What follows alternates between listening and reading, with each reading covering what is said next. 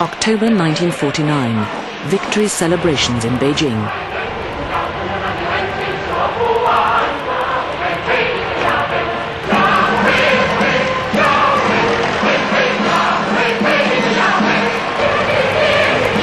Over 30 years after the Soviet Revolution, communism makes a second great advance.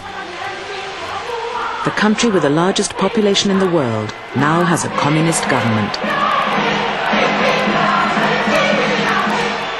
Photographer Hou Bo is on the platform.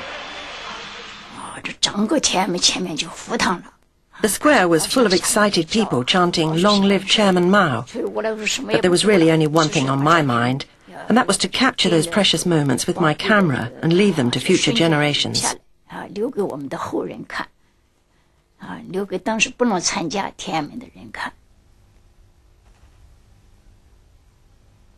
It was a special day for China. After thousands of years of struggle, we were liberated at last. What a joy. The crowds in Tiananmen Square hear Mao Zedong proclaim a new start.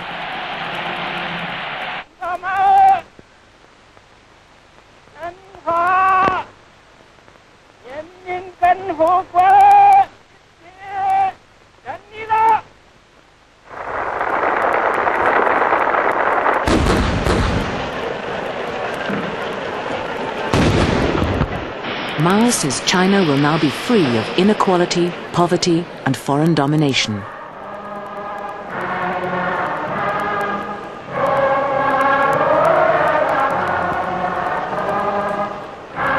From now on, one-fifth of the world's people will become part of the greatest experiment in mass mobilization ever attempted.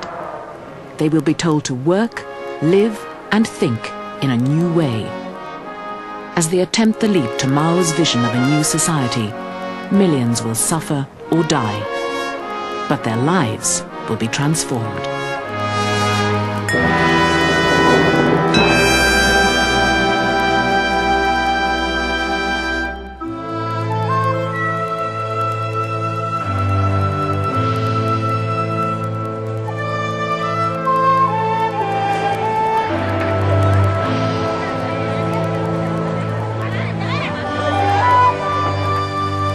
For the first half of the 20th century, most Chinese still lived in a way that hadn't altered for generations.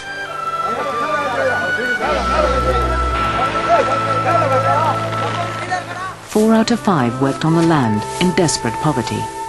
Most were in debt to landowners or moneylenders.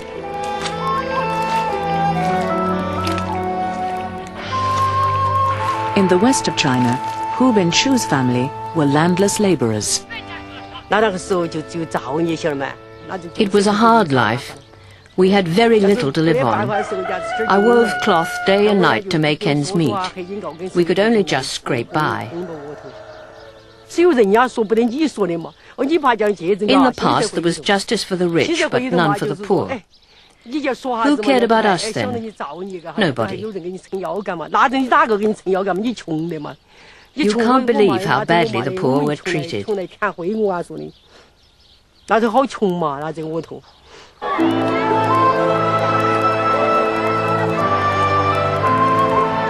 The need to ease the rural poverty and modernize was increasingly recognized in the 1920s. President Chiang Kai-shek re-established a central government, ending the turmoil between rival warlords. His Nationalist Party drew support from Chinese businessmen and the landowners in the countryside. Foreigners were allowed to keep their privileged hold over trade and finance. And the nationalists believed that in time, capitalism would spread its wealth out to the other China, beyond Shanghai and the coastal cities. Nighttime in dear old Shanghai, then I'm dancing, sweetheart, with you.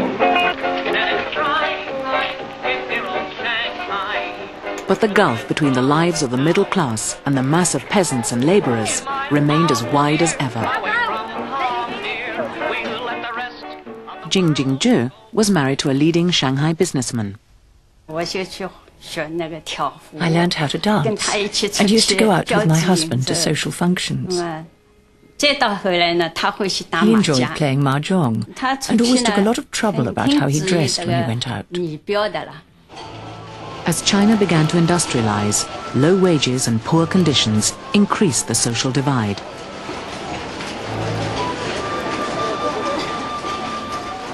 Some looked to China's Communist Party for a radical change that could take China out of its lethargy and end its exploitation by foreigners.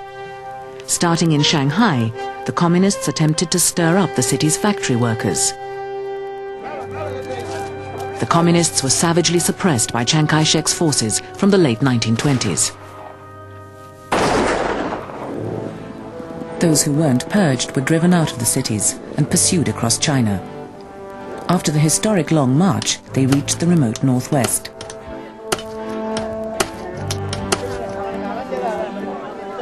From the caves of Yan'an, their leader, Mao Zedong, planned a new kind of revolution that would spring from the countryside more than the workers in the city.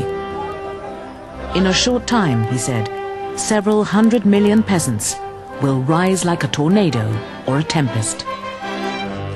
The communists and nationalists had cooperated, albeit uneasily, during Japan's invasion of China.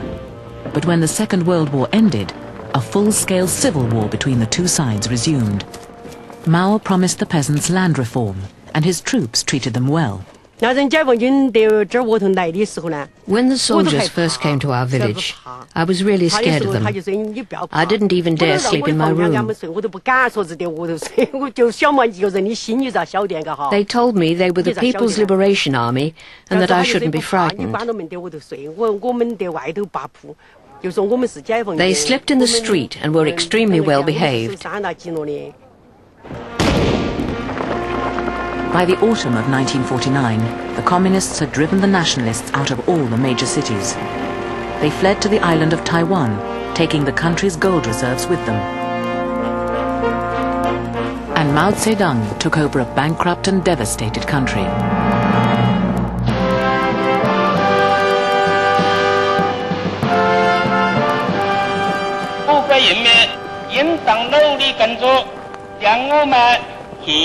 The 经济上、文化上落后的国家，建设成为一个工业化的、具有高度现代文化程度的伟大的国家。Mao now held more power than any leader since the emperors. He promised a China that could stand on its own feet alongside the other world powers.